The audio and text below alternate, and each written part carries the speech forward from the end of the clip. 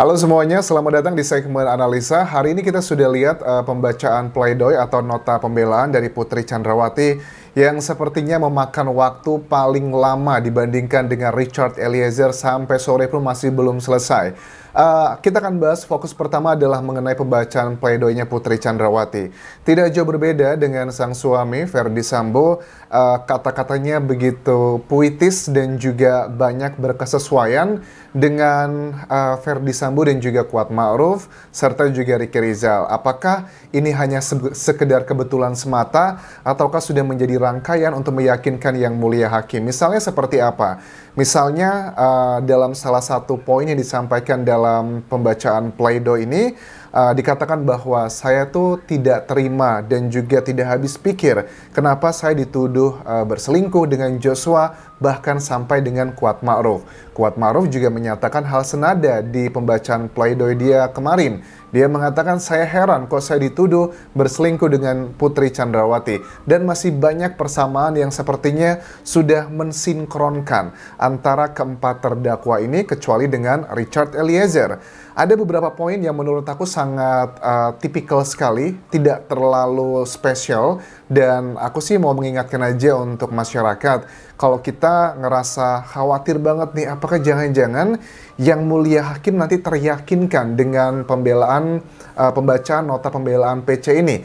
Mudah-mudahan sih tidak seperti itu karena hakim kan beberapa kali mengatakan dalam persidangan bahwa kami tidak butuh pengakuan terdakwa. Kami sudah bisa memahami dan mengerti dari keyakinan kami. Mudah-mudahan itu adalah yang terjadi karena uh, aku juga masih sedikit traumatik pada saat uh, pembacaan tuntutan dari jaksa kok kita tidak sebegitu masuk akal dengan tuntutan untuk ketiga terdakwa tersebut bahkan pun untuk Ferdi Sambo dan juga untuk Richard Eliezer bagi aku cukup janggal dan itu pun juga diaminkan dari sejumlah pakar hukum pidana yang menilainya itu nggak fair sama sekali.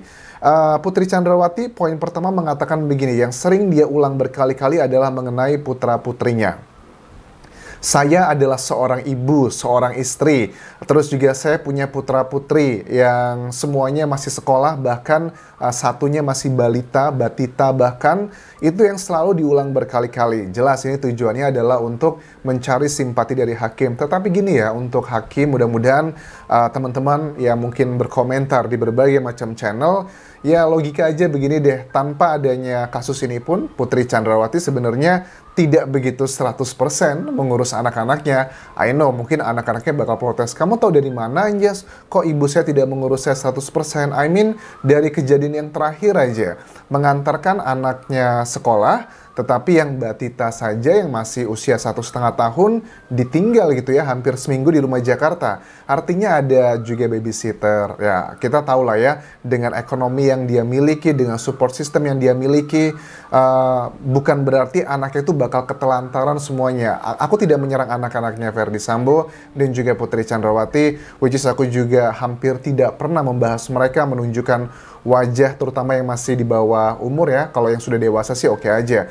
Bahkan ada salah satu komentar dari netizen yang bilang ke Instagramku bahwa Anjas ini adalah akun Instagramnya anaknya Putri Chandrawati yang paling dewasa. Oke, okay, aku melihat beberapa kali stalking, wah sepertinya sudah cukup kuat dan juga matang uh, menghadapi ini semua. Aku prihatin, tetapi kita juga sedang mencari keadilan ya, tidak menyerang individu dari anak-anaknya FS dan juga PC. Nah, yang salah satu hal dari awal aku amati dalam pembacaan pleido ini ada yang janggal. Banyak sih. Yang pertama, berikutnya. Putri Chandrawati begitu konsisten menangis saat bercerita tentang di Magelang. Peristiwa yang dia katakan saya dibegitukan oleh Joshua. Tiap kali dia bercerita, walaupun cuma mengadres sedikit atau mungkin gak nyampe satu menit dalam hitungan detik begitu, tetap dia langsung menangis. Misalnya begini, aku masih ingat beberapa ekspresinya saya apakah saya salah sebagai seorang istri menceritakan apa yang telah saya alami ke suami saya tentang peristiwa di Magelang tersebut. Selalu berkali-kali kalau dia menceritakan tentang peristiwa di Magelang tersebut menurut versi dia, dia dilecehkan oleh Joshua, itu selalu menangis menurut aku itu adalah janggal. Kalau menangisnya cuma sekali dua kali aja karena kan peristiwanya peristiwanya sudah bulan Juli ya, sekarang sudah bulan Feb, uh, Januari ini kan sudah berkali-kali diperiksa di persidangan juga. Bukan berarti orang yang traumatik itu lantas semuanya konsisten seperti itu. Karena di sisi lain juga uh, Putri Chandrawati kalau dinilai dia adalah traumatik yang begitu parah kan traumatik juga ada level-levelnya kan ya. Kalau dia levelnya sebegitu parah seperti penjelasan dia, nggak mungkin dia masih bisa uh, berbicara lantang, berdebat dalam persidangan itu sangat sulit gitu. Ya traumatik mungkin ada, misalnya kayak aku traumatik dengan binatang tertentu, itu juga traumatik karena pernah digangguin dengan binatang tersebut. Kan level-levelnya gitu. Ini adalah permainan kata-kata. Mudah-mudahan hakim tidak teryakinkan gitu dengan Putri Chandrawati karena memang terkesannya sangat meyakinkan sih kalau aku lihat uh, actingnya Putri Chandrawati hari ini dan kayaknya orang Indonesia kan sebagian suka sama drama tuh. Takutnya juga teryakinkan begitu ya. Uh, tapi ada tangisan yang berbeda loh uh, di sepanjang PC membacakan pledoinya, yaitu adalah tangisan pada saat menceritakan tentang di Magelang kita sudah melihat berkali-kali. Tetapi pada saat dia bercerita tentang anak-anaknya, bercerita tentang cinta dia dengan Ferdi Sambo, itu berbeda tangisannya. Kalau aku lihat lebih genuine yang mana, lebih natural yang mana adalah tangisan pada saat dia bercerita tentang anak-anaknya dan juga suaminya. Itu lebih genuine. Matanya itu apa? Wajahnya itu langsung memerah Berbeda pada saat dia bercerita tentang Joshua tersebut, dia menangis, tapi menangisnya hanya di suara saja yang aku sangat hancur dan gitulah, suara kayak radio doang. Tetapi kalau dia bercerita tentang anak-anaknya dan juga Ferdi Sambo, itu menangisnya memang natural sih aku melihat, jadi wajahnya memerah juga, jadi dari hati sekali. Nah itu bisa mengindikasikan kita tahu mana yang acting, mana yang beneran, atau sekedar skenario aja sih atau acting tersebut. Uh, di sini juga dikatakan ada salah satu statement PC bahwa saya itu takut suami saya tidak mencintai saya lagi. Nah, kalau dia menceritakan tentang peristiwa pelecehan tersebut, menurut aku hal yang janggal ya. Karena apa? Dia dengan uh, Sambo itu kan sudah menjalin hubungan sejak SMP, punya empat anak, sudah lebih dari 20 tahun bersama. Justru kalau dia menceritakan itu dengan Sambo, ya pasti Sambo akan lebih karena kita kalau sama orang orang kita cinta mengalami suatu hal masalah musibah justru akan malah melekat merekatkan kita ya. Kenapa? Menurut aku uh, Putri Chandrawati malah takut FS-nya nggak cinta lagi ya karena dugaan sangat kuat bahwa Putri Chandrawati memang memiliki uh, sesuatu hal dengan Joshua perselingkuhan yang menurut aku juga ini juga yang dikatakan dari JPU dan juga sejumlah pengamat pakar di Indonesia perselingkuhan ini juga karena faktor relasi kuasa bahwa uh, Joshua tidak punya kewenangan lagi karena kalau dia melawan apa yang diperintahkan atasannya dia takut dikriminalisasi dan sebagainya. Justru menurut aku aku juga sangat prihatin dengan kejadian tersebut. Ya tidak mungkin lah ya secara logika. I know ada beberapa keterangan dari kuasa hukum yang mengatakan begini. E, kami tuh tidak masuk akal kata kuasa hukumnya dengan JPU yang mengatakan uh, fakta persidangan bahwa Putri Chandrawati setelah kejadian tersebut di Magelang tanggal 7 Juli 2022 Putri Chandrawati memanggil Joshua kembali dan berbicara empat mata. Kalau menurut psikolog yang di-hire oleh timnya Joshua ini, itu adalah salah satu bentuk self-defense mechanism untuk mempertahankan diri dan menganggap tidak terjadi apa-apa. Apakah yakin seperti itu? Menurut aku sih tidak masuk akal sama sekali. Kecuali korbannya adalah si Susi gitu. Kalau Susi yang menganggapnya pura-pura tidak terjadi apa-apa. Misalnya kayak kita lihat ya banyak anak-anak di Indonesia sebagian gitu yang terkena kasus uh, mengenai pelecehan seperti ini. Mereka acting tidak terjadi apa-apa karena ada relasi kuasa. Orang yang lebih dewasa, orang yang lebih tua atau lebih kaya dan sebagainya Nggak mungkin kalau si Putri Chandrawati jelas-jelas dia istri jenderal bintang 2 atasannya. Jangankan dia mau ketemu ya, ngelihat mukanya udah jijik gitu, langsung telepon uh, kepolisian di Magelang, tangkap nih orang ini kebangetan, kurang aja dan sebagainya. Jelas lah, jangan mengada-ada lah. Kita tuh manusia diberikan logika, punya pola pikir yang dikasih sama Tuhan sama kita ada berbagai macam teori itu adalah sebuah hal yang memang betul secara saintifik. Tetapi kan tidak semua teori itu teori yang mutlak begitu. Itu adalah sosial ya. Ada perdebatan tergantung konteksnya, siapa orang-orangnya, bagaimana keadaannya. Jadi jangan hanya mengikuti bagian-bagian tertentu untuk mensupport sebuah ide padahal konteksnya tidak masuk akal ke sana. Itu yang pertama uh, dari banyak hal yang dikatakan kuasa hukum.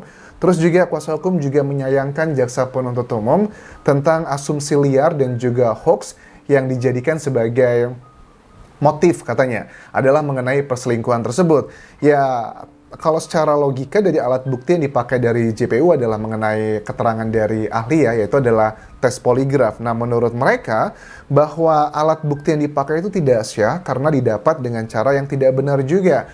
PC dalam keadaan tertekan dan sebagainya. Ya itu kan petunjuk ya teman-teman ya. Yang ngomong itu aja dari awal ya, kita kan manusia itu punya logika gitu. Kalau dari 10 orang, logikanya itu memiliki ide satu sama adalah 8 orang berpikir perselingkuhan, hanya dua orang tidak berpikir selingkuhan, yaitu adalah common sense gitu dengan berbagai macam petunjuk yang ada di fakta persidangan ya kita tahulah namanya juga pengacara pasti akan membela kliennya begitu. Karena kan pengacara itu bukan membela keadilan ya tapi adalah membela orang yang bayar which is fine. Itu adalah diatur dalam undang-undang. Jadi tidak ada masalah dengan urusan tersebut. Tetapi aku cuma mengembalikan konteksnya kenapa seperti itu. Dan di pembacaan pledoi ini juga PC meminta maaf kepada orang tuanya Joshua dan mengatakan semoga bisa tabah menjalani ini semua Kemudian pada saat PC mengatakan saya apa itu tadi? Uh, dituduh uh, selingkuh dengan Joshua bahkan dengan Kuat Maruf, ya memang itu salah satu indikasi dari fakta persidangan. Kita nggak bisa membantah semua itu. Kalau mengenai permintaan maaf dengan orang tuanya Joshua itu, itu sih sepertinya hanya sebagai salah satu strategi aja ya. Terus juga PC mengatakan saya itu serba salah. Waktu awal saya tidak berbicara uh, tidak mau mengatakan apa pun, saya dikatakan uh, menyembunyikan sesuatu hal. Tetapi pada saat saya sudah berbicara, uh, kemudian saya dikritisi ini dan itu. Kayaknya saya tuh serba salah gitu mengatakan apa pun. Ya karena yang dikatakan itu adalah masih rekayasa semua aja gitu. Kenapa nggak mengakui aja? Tetapi nggak usah khawatir kok, nggak usah khawatir uh, PC karena Anda kan diberikan tuntutan dari JPU itu cuma 8 tahun aja gitu. Yang harusnya Anda tuh bisa mendapatkan 20 tahun atau bahkan juga seumur hidup karena pasal yang didakwakan adalah pasal 340 Uh, dia juga mengatakan begini bahwa ia uh, suaminya adalah FS orang yang paling saya cintai dan pelindung keluarga. Fakta persidangan kenapa kalau dia orang yang paling dicintai biasanya orang paling dicintai itu berpisah satu jam dua jam aja udah kangen banget. Tetapi kenapa kok tinggalnya berbeda? Diketahui dari fakta persidangan, PC itu tinggalnya di rumah Saguling, sementara FS tinggalnya adalah di rumah Bangka, yang jaraknya itu paling hanya 20 menit ditambah mereka punya fasilitas patwal tanpa hambatan macet itu akan jauh lebih cepat. Kenapa seperti itu? Ada sih penjelasannya dikatakan bahwa alasannya uh, rumah yang di Bangka itu lebih dekat dengan kantor gitu. Jadi biar lebih cepat. Sedekat-dekatnya juga nggak nyampe 5 jam, 4 jam gitu. Demi cinta loh, orang aja demi cinta bisa uh, berpergian berhari-hari gitu untuk menemui orang yang disayangi. Apa kabar yang hitungan dalam menit, ada fasilitas yang banyak, hanya demi orang dicintakan. Ini kan fakta persidangan tuh kadang tidak sesuai dengan uh, perkataan-perkataan dari Putri Chandrawati. Kemudian juga uh, cerita background pendidikan saat SMP pertama kali jumpa dengan Ferdi Sambo. Ini yang aku sudah bahas ya, kalian tonton uh, video dengan judul biografinya Ferdi Sambo dan juga Putri Chandrawati. Aku ceritakan secara detail bagaimana uh, kisah cinta mereka. Tetapi yang berusaha di pesan yang ingin disampaikan menurut aku adalah kesetiaan sih. Kenapa? Karena kan wah pacarannya dari SMP, kemudian terjadi drama-drama ini dan itu berpisah, akhirnya akhirnya menikah juga sudah lebih dari 22 tahun. Dia mau menunjukkan dan memberikan pesan ke majelis hakim bahwa saya itu adalah perempuan yang setia. Suami saya pun juga begitu, ingin mematahkan motif yang disampaikan oleh JPU. Menurut aku itu tidak menjawab apa pun karena uh, sejarah itu tidak akan menjamin masa depan akan sama seperti itu dengan banyak hal yang bisa kita ketahui. Misalnya ada salah satu keterangan dari anggota Polri yang terkena saksi di obstruction of justice pada saat dia ditelepon oleh Verdi Sambo untuk datang ke rumahnya di tanggal 8 Juli tersebut, dia datangnya ke rumah Bangka, bukan ke rumah dinasnya. Artinya kan orang-orang di sekitar Verdi Sambo sudah tahu bahwa PC dan FS itu tinggalnya memang sudah nggak satu rumah lagi. Dan itu bukan dalam waktu sebulan dua bulan kalau sampai banyak orang unconscious atau tidak sadar langsung pergi ke sana. So, I hope you know what I mean. Dan sekali lagi, keluarga yang selalu dipakai dari Putri Chandrawati untuk mencuri simpati dari hakim. Mudah-mudahan sih uh, hakim tidak terpengaruh ya karena keterangan lidah itu kan nggak bertulang ya.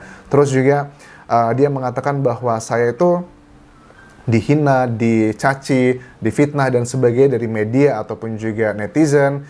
Ya memang ada bagian yang dia juga benar aku harus mengakui. Tetapi kan itu semua karena ada penyebabnya juga. Dan dia mengharapkan bahwa putusan dari hakim nanti uh, bukan berdasarkan tekanan dari masyarakat tetapi adalah murni karena fakta persidangan dia ngerti nih karena kan dia sudah melakukan banyak hal nih underground lah kata Pak Mahfud MD banyak uh, serangan bawah tanah ya identiknya ke tikus menurut aku dengan duit-duit gitu karena yang bisa menghadapi uh, serangan bawah tanah itu adalah suara masyarakat gitu. Jadi kalau no viral no justice di Indonesia yang mengatakan seperti itu adalah menurut aku sih tidak 100% salah ya. Dan PC, FS juga sadar uh, cara dia untuk mendapatkan target hukumnya adalah dengan meyakinkan yang mulia hakim tolong jangan dengarkan tekanan publik. Dan menurut aku yang sedang kita lakukan ini adalah bagian untuk mencari keadilan bagi Joshua dan juga uh, Richard Eliezer. Terima kasih sudah menonton, sampai ketemu lagi di video berikutnya. Tinggalkan like dan juga komen, serta subscribe channel YouTube ini, juga follow Instagram dan Facebook page di Anjasa. Sampai jumpa.